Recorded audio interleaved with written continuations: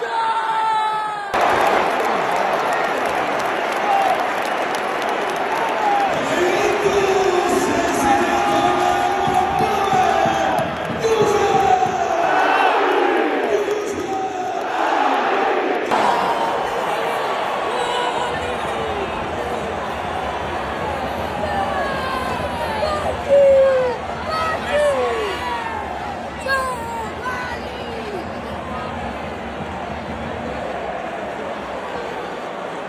Per il Frosinone ha segnato il numero 70, Chetti